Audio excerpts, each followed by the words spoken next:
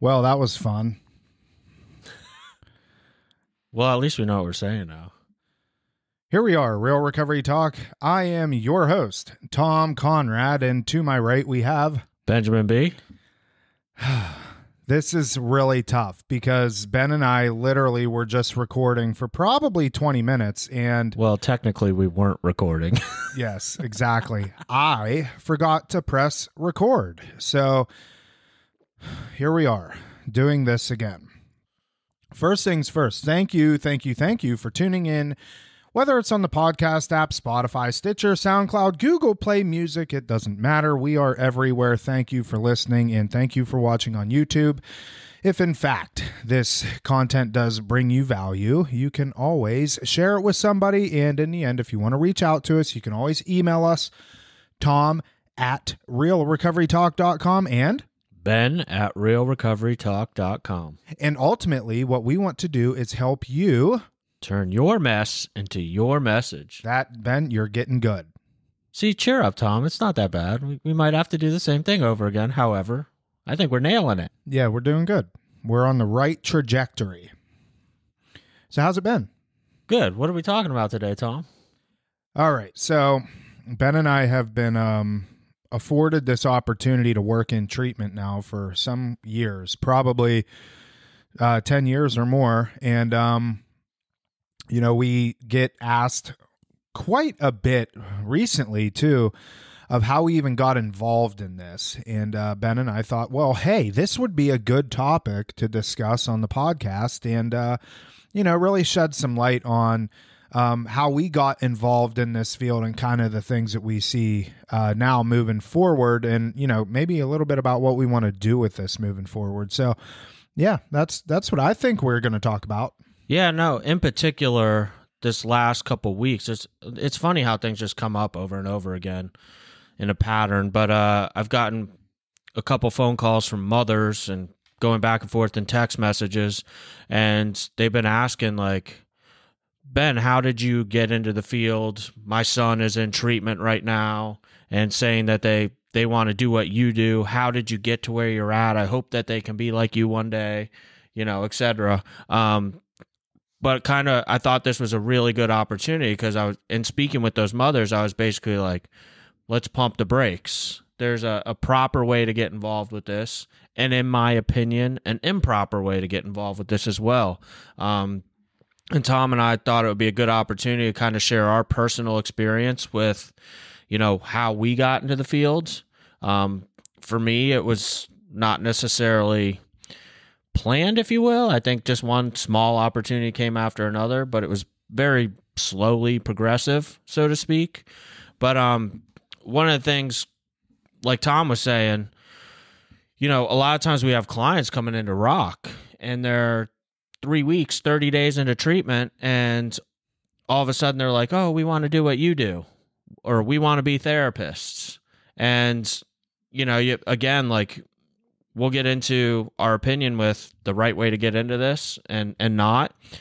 One of the things that I'll just call it what it is.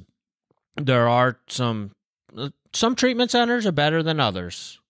Morally, ethically, the way that they operate, etc., the services they provide, it just kind of is what it is. I'll be transparent about that. But for instance, the treatment center that I very first worked for required two years of sobriety for you to be able to work there. Um, I remember I I had like I was a month and a half away from having two years, and the lady said to me, "You sound like a great candidate. Call me back when you have two years." And literally, like I called back the day of. But that you know, there are some centers out there, and I've seen this, or somebody will lie and say that they have more sobriety time than they do. Um, but you get into this too soon like we'll see people get start working at a detox or a PHP with like 90 days of sobriety. And maybe you want to touch on that Tom like why in this in this I think it's important to have s- some solid sobriety under your belt before getting into this field. And I see people take shortcuts.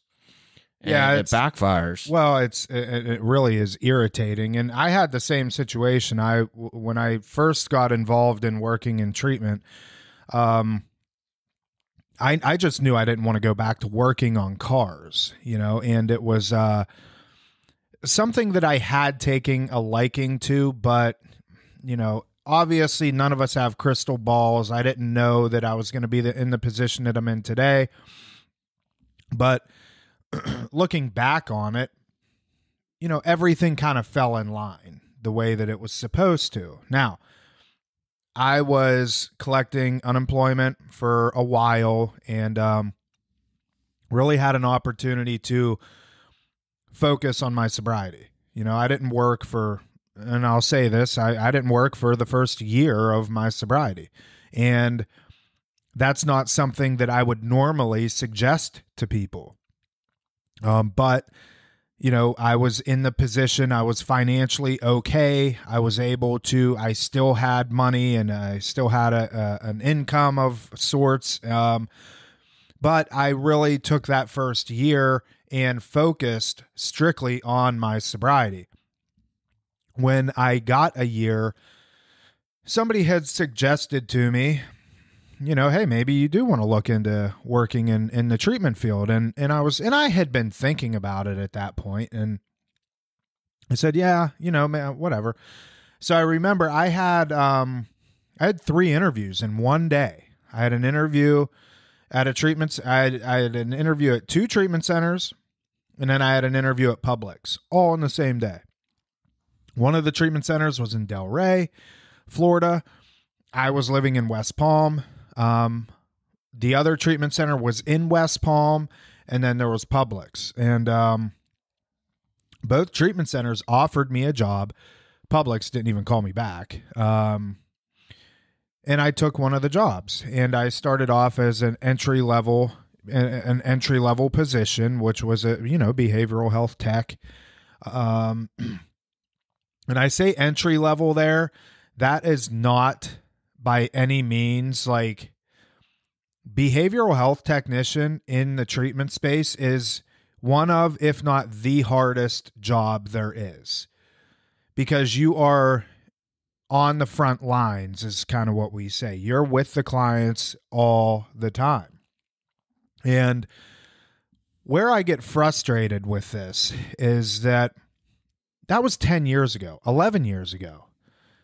It has morphed into now really we don't even ask about your sobriety time. And that's the unfortunate thing. A lot of treatment centers don't even ask. Why i don't know.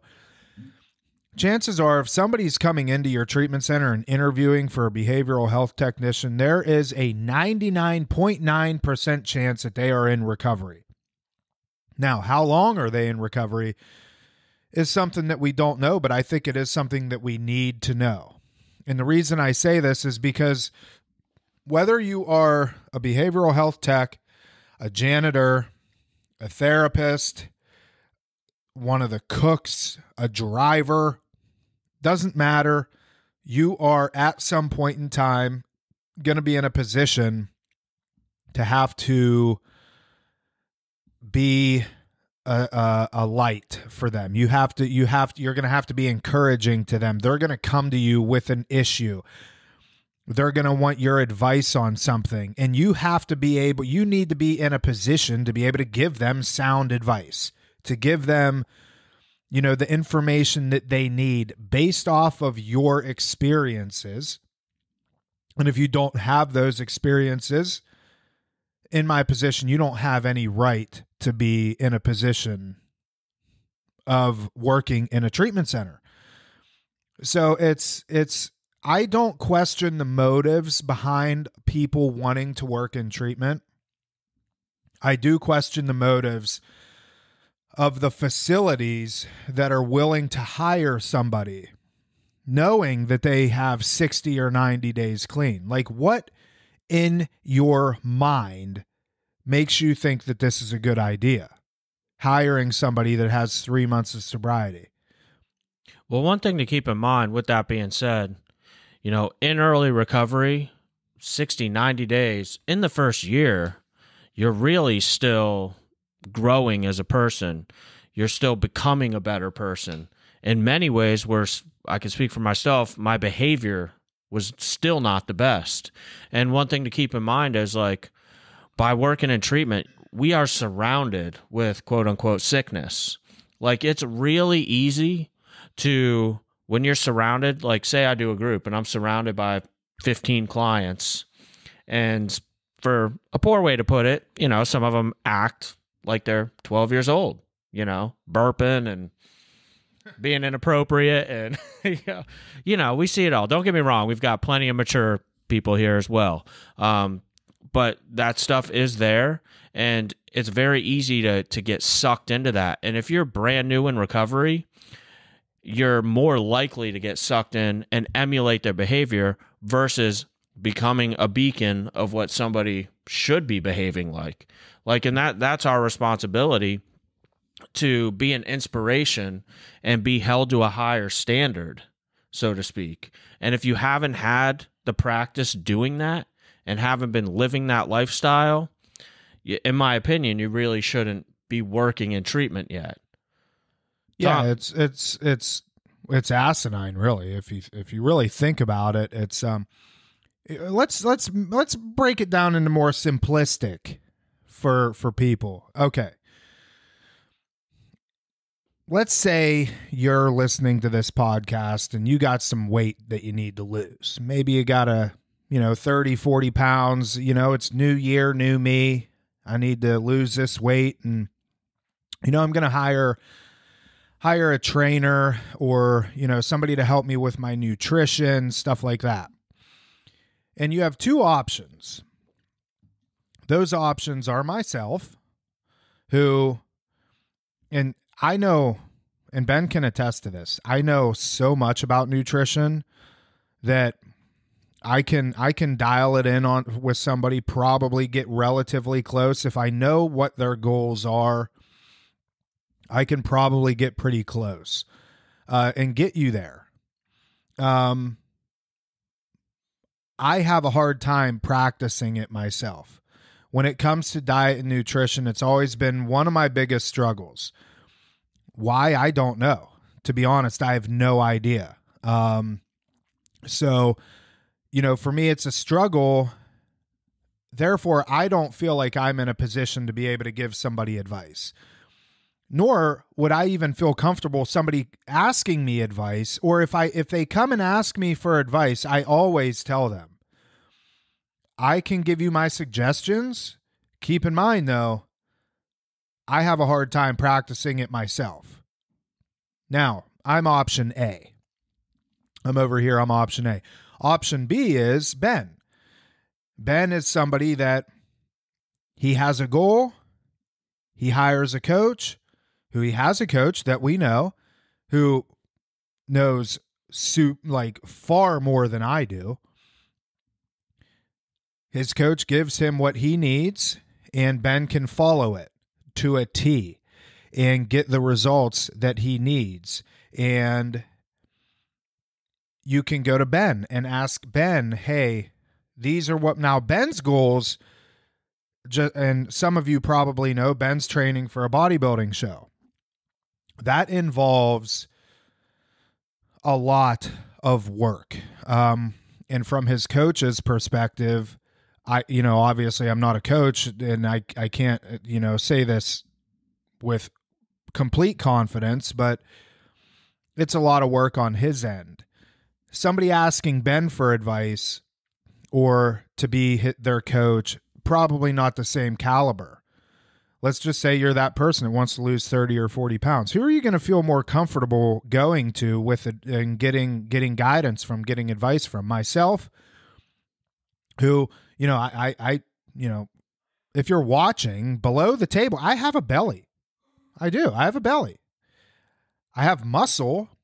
I can lift a lot of weight. My traps, I think, are coming in rather nicely. What do you think? Your, your traps look nice. Yeah. Or you could you could pick somebody like Ben, who obviously you can look at and know, okay, this guy follows and he practices what he's preaching, so on and so forth. You're obviously going to pick somebody like Ben. That's the most simplistic way that I can put it.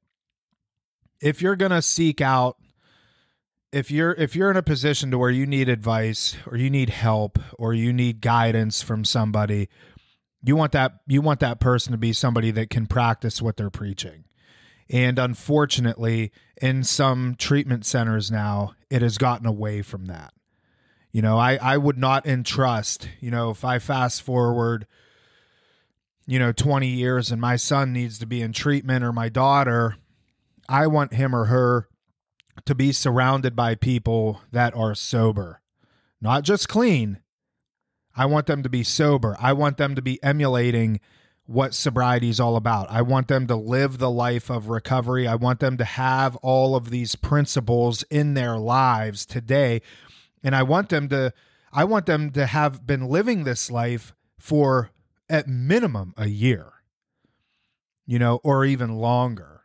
I'll bring my sponsor into it. My sponsor said to me one time, he's like, Ben, don't find somebody that can tell you what the big book and recovery is about. Find somebody that can tell you about their experience with it.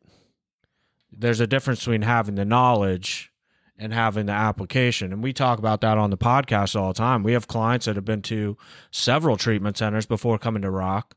They've sat in groups, they've had therapists, they know the different types of therapy. All that knowledge is there where they're falling short is the application. You know, going back to the the trainer analogy, like in its simplest form, if I'm gonna choose a, a personal trainer, I was at the gym with Whitney the other day, and there was a couple that just bought a, a, gym membership clearly that day, and arguably the people on their first day were in better shape than the trainer was.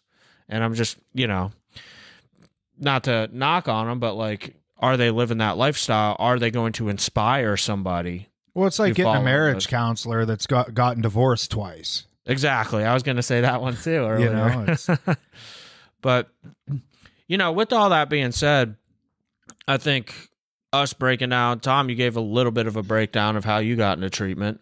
Um, a year. Well, yeah, and what ultimately, so I started off in, as a behavioral health tech and learned so much, and I did that for, uh, well, at the first facility I was at, I, I went from just you know behavioral health tech, and then after six months or a few months rather, um, moved into more the lead tech position. So now I was in charge of scheduling and you know making sure that the techs were doing their jobs the right way and and then from there I went to another facility and I went to um, Palm Beach State College where Ben and I met and started taking their addictions classes because by at that point I had you know, year and a half coming up on two years of sobriety. And I pretty much knew at that point, this is okay, this is kind of what I'm going to be doing. Um, I did enjoy it.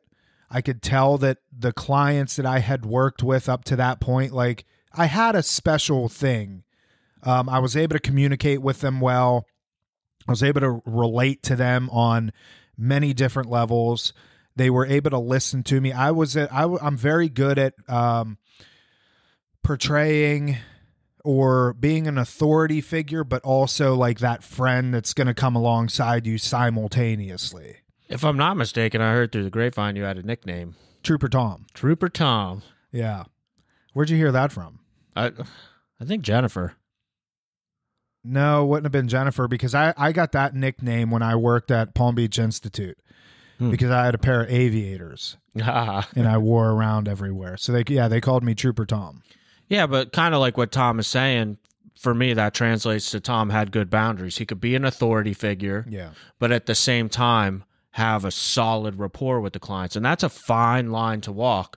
Because somebody in early recovery, they try to build rapport, but to build rapport, they start behaving more like the client.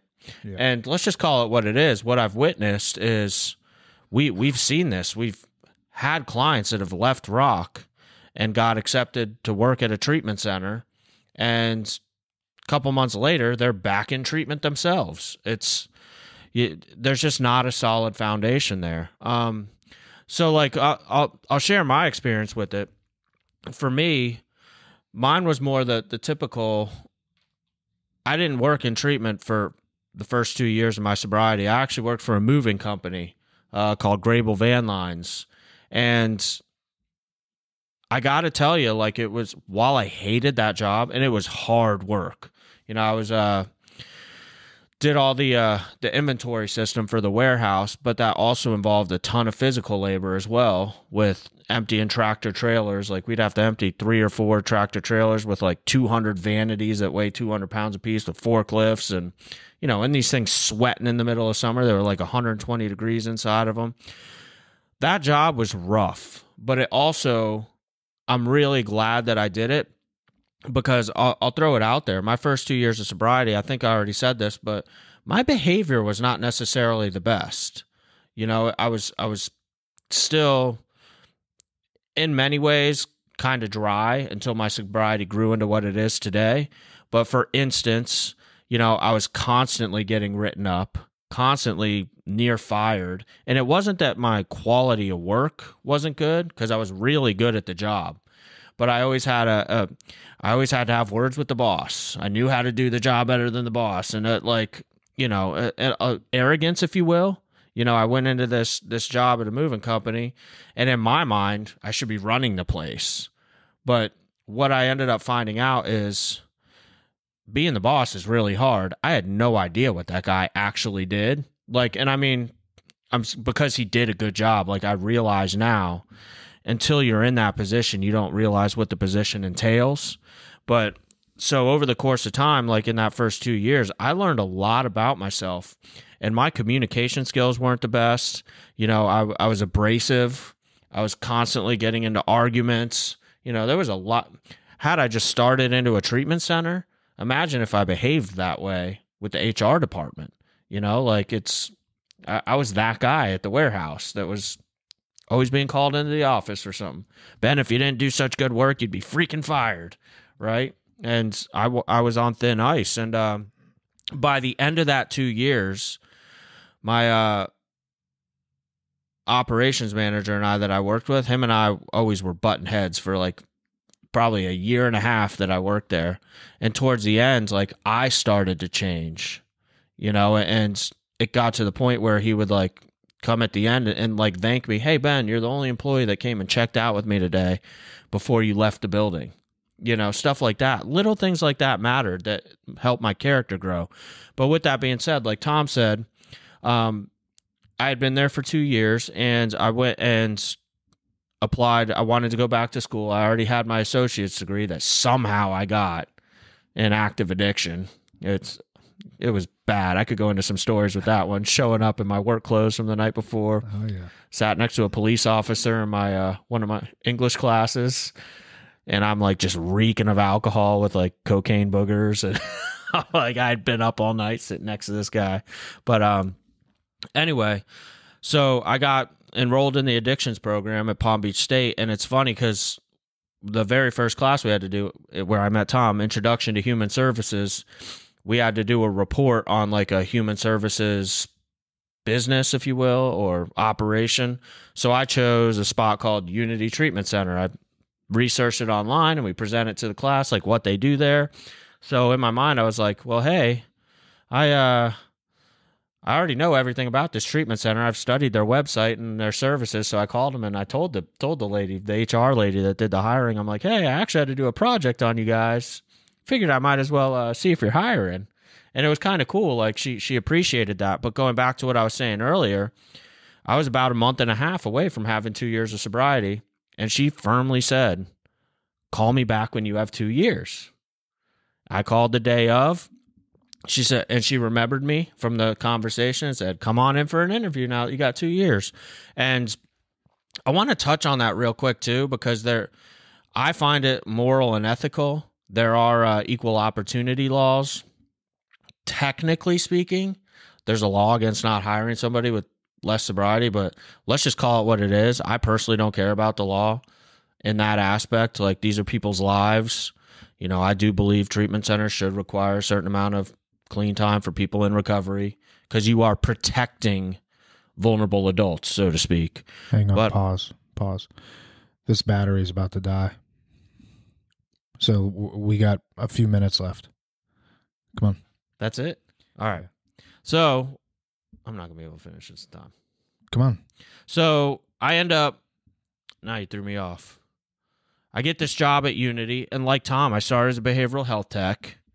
became a lead, became a supervisor, became a manager. Um, and that was over the course of about four and a half years working for this same treatment center. One day, due to some behind the scenes stuff, the treatment center closed. They were struggling financially because the insurance changed some of their rules and whatnot. But um, the very next day, I got a, a call from somebody that wanted help opening a treatment center which I had never done before, didn't really have the experience, but they figured I had enough knowledge to be helpful. And so for me, like another opportunity opened. You know, I learned about the licensing and all that stuff on the back end. Helped helped open this treatment center. Year and a half later, after that, you know, I, I was kind of done with that place. Um, to be 100% honest, it went in a direction that I didn't fully agree with from a moral and ethical standpoint. And Tom and I got back in touch, and Tom took me out to coffee, and I ended up at Rock. And that was it. And that's it. But point is, is like all this stuff was very gradual for me. You know, it was baby steps. I mean, I, I started twelve fifty an hour as a tech. Yeah, I was eleven. Yeah, eleven bucks an hour. Mine might have been eleven fifty actually. But anyway, point is, is like there was no quick solution, right? There was no shortcuts. I gradually took baby steps, and you know, I ended up getting my uh, addiction certified. Addic- I'm a certified addictions counselor through Palm Beach State college credit stuff, and uh, with the Florida certification board, all that. I made a decision like I had intended on being a therapist, but over the course of time, being a tech and getting more into the operation stuff, I, I found I kind of enjoyed that more and kind of ditched you know, I'm qualified enough to run groups and do a little bit of one on one stuff. Insurance doesn't think so from that end, but that's a whole nother discussion. But yeah. according to Florida laws, I can do one on one sessions, stuff like that. But um, you know, it, it it's ended up organically just happening over happening over the course of time and 12 years sobriety later, 10 years in the field, I'm at where I'm at today. There was no time machine that got me here. And I think that all the while too, and we got to wrap this up for the sake of time. Our recovery stayed intact that whole entire time. There were no relapses, there were no slip ups.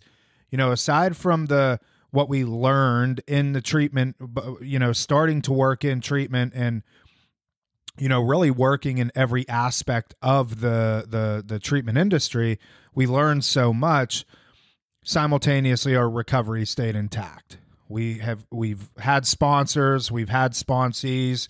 We're still today active in our programs, and uh, you know we've never wavered on that, and I think that's why we're in the position that we're in. So I would say that if you do, in fact, yourself or somebody that you know wants to work in addiction treatment for whatever reason, you got to take your time you got to build your foundation first. Because if you have nothing to offer yourself in terms of sobriety, and you haven't experienced and you haven't gone through those steps and you haven't done the work, in my opinion, you're not in a position to be working in treatment.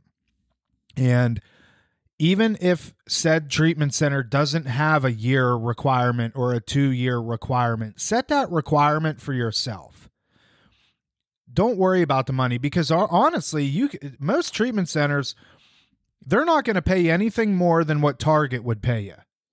You know, folding t-shirts. Build your sobriety, build a foundation for yourself. Go work at Target, go work at a, a grocery store, whatever the case is. And then when you have that solid foundation of sobriety, go and work in treatment. I think that's the only way to do it you know, and you have because you have to have stuff to offer other people, and if you don't, then you're you're going to end up hurting more people than you are going to help. Yeah, without a doubt. I mean, I've also seen people shoot themselves in the foot as well. They get involved working in treatment super early, and this is literally true story, and I've seen it more than once.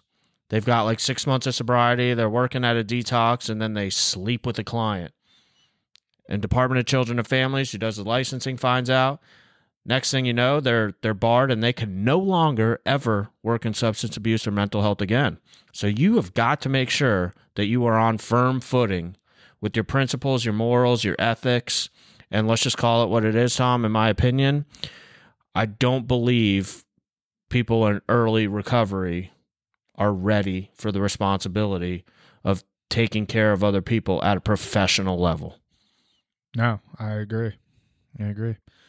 Well, listen, we hope that uh, you enjoyed this this episode, and um, you know, in the end, if you have any comments, questions, or concerns, you could always reach out to us, Tom at realrecoverytalk.com and Ben at realrecoverytalk.com. And ultimately, we want to help you. Turn your mess into your message. That is it. We will see y'all later.